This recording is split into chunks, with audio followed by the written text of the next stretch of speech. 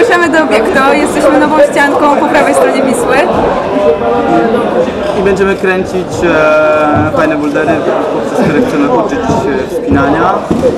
I to miejsce cały czas się rozwija, jeszcze dużo mamy tutaj do zrobienia, Dopiero ale zaczyna. będzie to bardzo fajne miejsce, także zapraszamy Was.